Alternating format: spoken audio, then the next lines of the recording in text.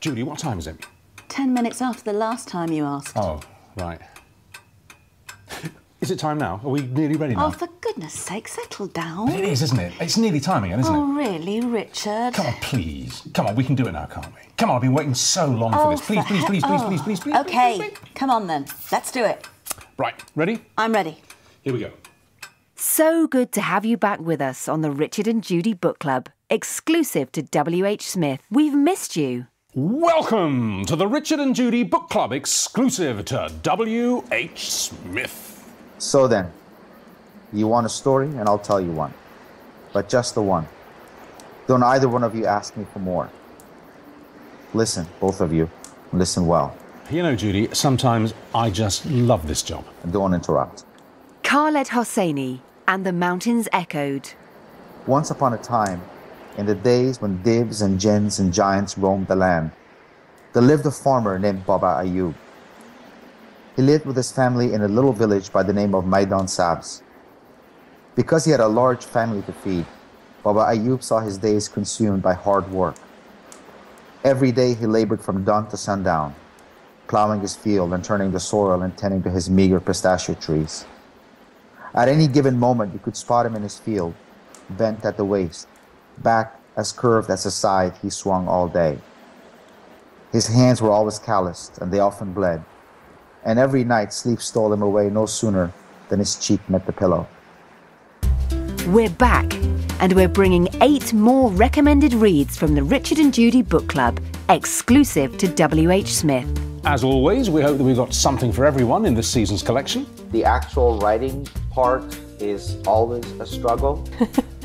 Writing is the hardest job I've ever done. I try to avoid going into the office as much as possible. Writing is, well, it's a challenge. I mean, it's pathetic because I just sit there and make up stories, right? It's not, you know, saving the world. You know, I clean the swimming pool, look after the plants, do all of that.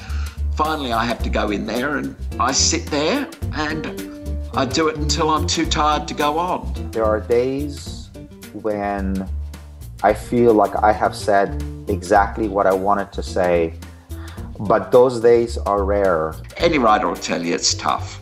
It's not an easy road to travel. I think every novel is a sort of cross country race, and halfway through, you sort of wonder if you're ever going to get to the end. Oh, it's a contrary beast, I think. I'm sure there's a lot of psychological experimentation to be done on writers. And first, we start with a beautiful book by Khaled Hosseini. And why not let him describe it to us? Well, I would describe the book as a novel told in a series of more or less freestanding vignettes, each told from the viewpoint of a different character, with each chapter illuminating something that happened before and setting up the next story. All of them together uh, tell one big giant story.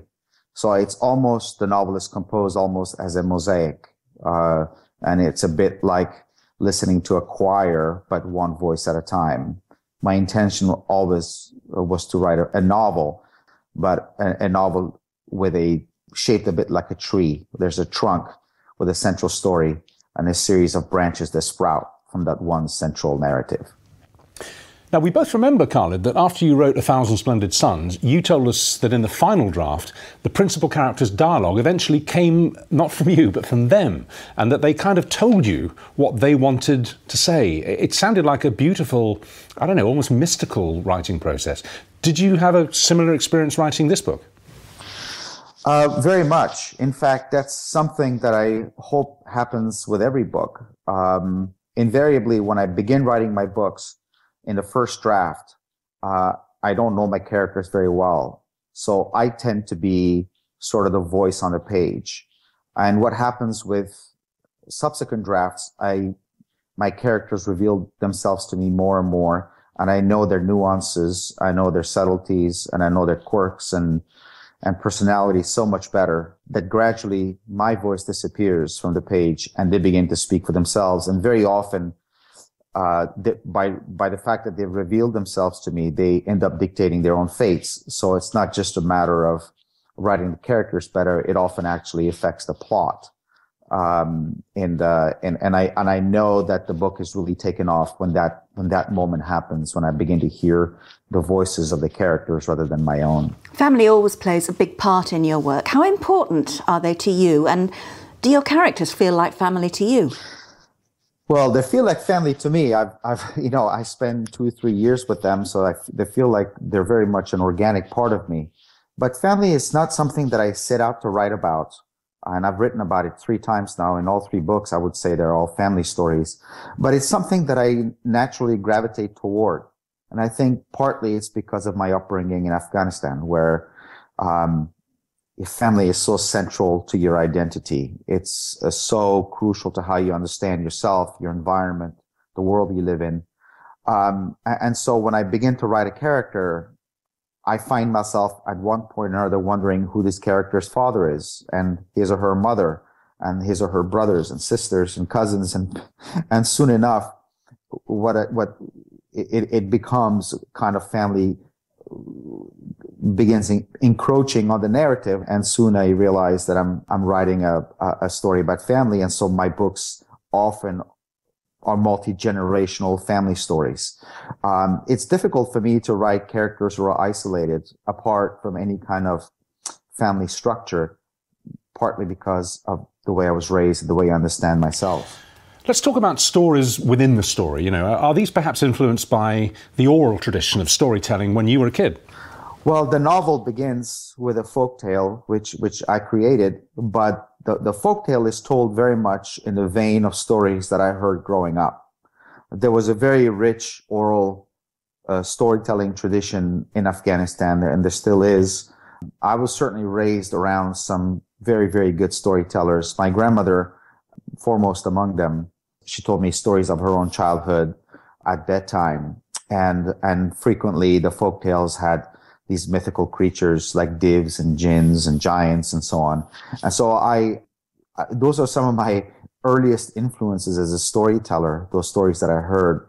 And so I wanted to, in part, uh, pay homage to that by beginning this book with my own twist on this folktale, because although the folktale begins like a classic folktale, it takes a weird turn and it, ends up being, I think, a little bit more uh, complex um, and more messy, I would say, than the folk tales that I heard growing up. So it's it's it's a classic folk tale, but my own, with my own spin on it. I think this is a kind of double-edged question, uh, Khaled. But, but what are the psychological pressures of writing a third novel when the first two have been such massive successes?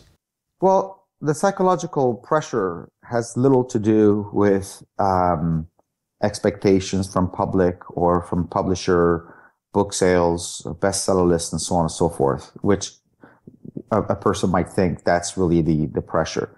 The pressure for, for writers, and, and, and I've heard this from many other writers that I've spoken to, the pressure is, is whether you still have something meaningful to say. Um, I never take it for granted that when I sit down, that anything of any value is going to come out. There's a sense in me that there's a limited number of things that I have to say. And at that some point, I will have said them all. And then at that point, I will be doing either one of two things, uh, saying rubbish or merely repeating myself, neither one of which I want to do. So the agony, uh, not the agony, but the sort of the, the, the angst of the writer is, uh, and the psychological pressure, as you put it, is to be able to continue to do something you love in the way that you want to do it. Uh, the pressure is entirely internal. People do say that in you, Afghanistan has at last found a voice. Was it ever your intention to step up to that particular plate? I, I have to be honest and say no. Um, I've, I've always written books with a very selfish motivation, which is that there's a particular dilemma with a given set of characters that I'm compelled to explore. Um, and, and, and there's something that speaks to me urgently, and it always has to do with a given character and a given story setting. Uh, the fact is that that those characters that I've explored have been Afghan, and they've lived in rather turbulent times in uh, recent Afghan history, and so the their lives are greatly impacted by what's happened in Afghanistan over the last three decades. And so my books have become, uh, aside from uh, the stories of these particular characters, have also kind of become chronicles of what's happened to that country for 30 plus years. But I can't say, in all honesty, that I sat down with the intention of, of either illuminating the culture of Afghanistan or educating Western readers about life in Afghanistan. I feel uh, that's far too heavy and uh, onerous a burden for any novelist. Okay, the obvious one. What are you working on now? Well, I'm I'm in the early stages of working on something. Um, I never know. I never take it for granted that it's going to go anywhere. Um, at some point, I will know that whether it's going to be a book or whether I need to start over. I'm not quite at that stage, but I am hopeful. I like this book from the off, you know, um, partly because he starts with a fable. When I first read it, I thought he was repeating a genuine fable from Afghanistan, maybe dating back two, three, four, five thousand years. But actually, he's made it up. It's an adaptation of a sort of a common fable of an ogre coming and, and taking a child. Yeah, it's very much a folk tale, isn't it? It's a kind of folk tale which I would have thought isn't just common to Afghanistan, the Middle East, whatever. Hmm. It, it's co- common to all cultures hmm. um, to have that kind of fabled. What it does is it sums up humanity hmm. in a very particular, strong, mystical way. Hmm. I also loved about this book the fact that really it's a series of short stories. Yeah. They're all very, very cleverly interlinked. But actually, it's, it's, it's a book, it's like a box of chocolates, actually. Yeah. Um, they're on a kind of a theme, but each chocolate tastes different, you know? And I just, I just like the way he did that, and yet you never felt that there was any disassociation between one chapter and the next. They all kind of bleed in into the next one. I'd say, you know, I, we always have favourites, super favourites, and this is one of my favourite books in recent years. Mm. I think it's beautifully written. I mean, really beautifully, hauntingly beautifully written. He's got such a talent. He has, but I also think the best thing about Khaled Hosseini is the way he presents Afghanistan to people like us who mm. only are ever aware of Afghanistan mm. because we're watching the news. And it's absolutely horrendous and terrible things are happening there. Yeah. And actually, he tells us about the people who live there, and he makes us feel close to them. He makes them, he makes us feel that they're just like us. They have exactly yep. the same concerns yep. and sadnesses and happinesses and families and all the rest of it. He brings Afghanistan to us, and he presents it in a theatre which is not just about war yes. and killing.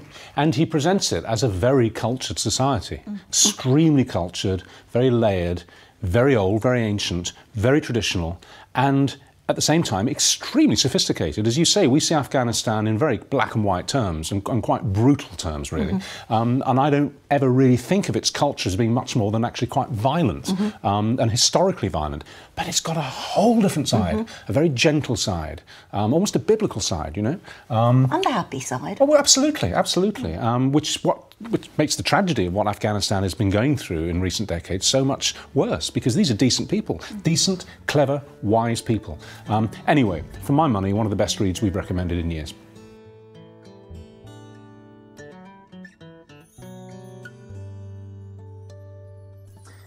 I kind of have a specific writing routine, which is that I sit down around 8.30, 9 o'clock, and I write till about 2.30 or so. I work from a, a, small office in my own house, and I work on a computer.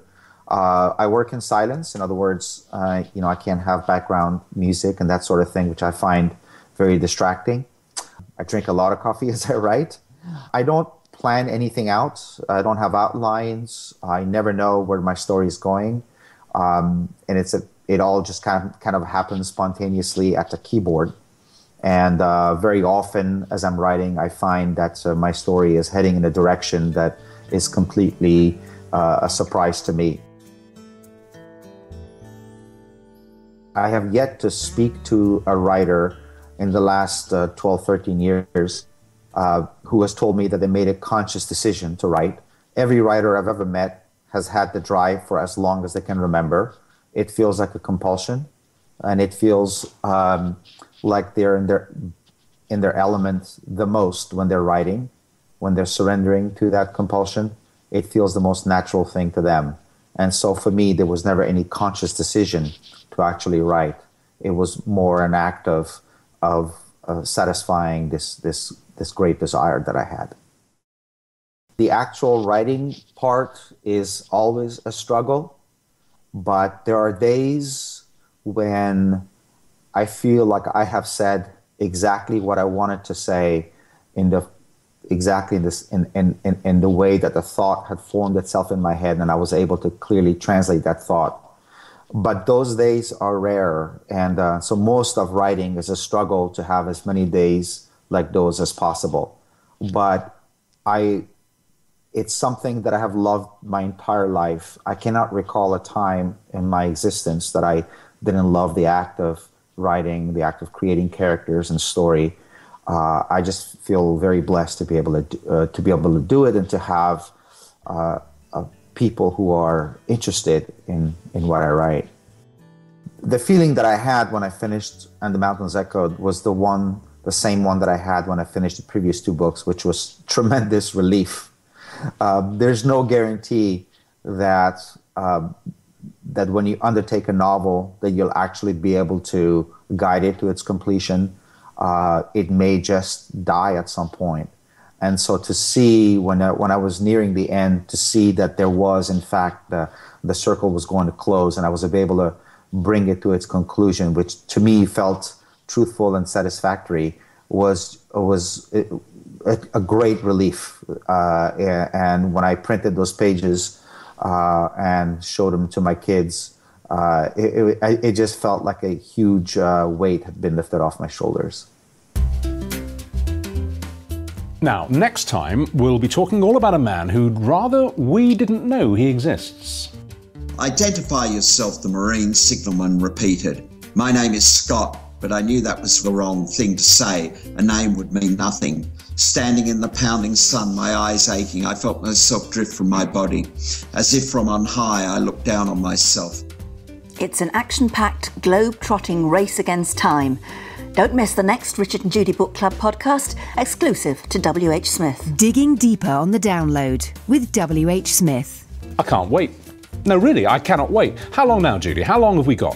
How much longer do I have to wait now? Oh, no. Here we go again. No, but seriously, we could just keep going. I'm ready, you're ready, we're all ready. We've got more than enough books to get through, and we could do that thing that we always talk